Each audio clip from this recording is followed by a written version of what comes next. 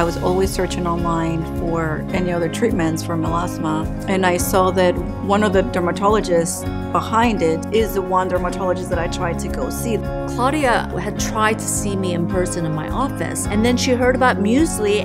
Our products are specially compounded to have 10 times the strength, the concentration. This is the future. This is where everything should be going.